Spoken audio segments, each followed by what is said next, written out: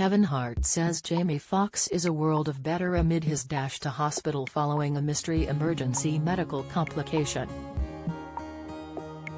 Stand-up comedian Hart has held a long-time friendship with Foxx, who is currently in his fourth week in hospital after needing sudden medical attention back in April.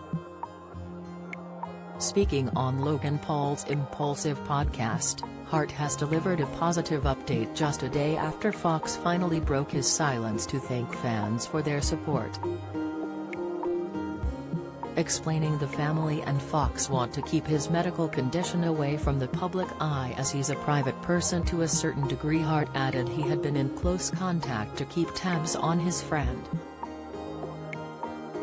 The dope thing is that he's getting better in his situation, and you know, everybody's prayers, everybody's love, energy.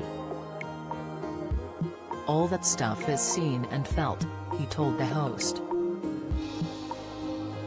So in this case, man, you know, you just want the guy to get out of the situations and then get back home. Hart said he didn't know the exact details but added, to my knowledge is Terry's a lot of progression and a world of better, man.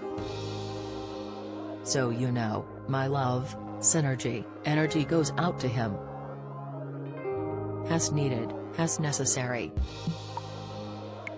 I know that he knows that, Hart said. The positive update comes just hours after Foxx spoke out for the first time by thanking his fans on Instagram. Don't miss. Miami Open star lifts lid on Jamie Foxx friendship after tearful win, latest, Jamie Foxx, 54, on his diet of choice, says fasting is worst, revealed, Spider-Man No Way Home, the other amazing Spider-Man 2 villain cameo, spoiler, appreciate all the love. Feeling blessed, he wrote, alongside emojis of prayer hands, a heart and a fox. He also sent his seal of approval to Nick Cannon, who was announced to take over Foxx's hosting duties on the sixth season of competition show, Beat Shazam. His daughter Corinne, who stars on the show alongside him, will be replaced by Kelly Osbourne in the interim as she remains by her father's side. Cannon paid tribute to Foxx following the takeover, assuring fans he was just temporarily in his friend's role by writing, This is your house big bro. I'm nothing without you. I love you.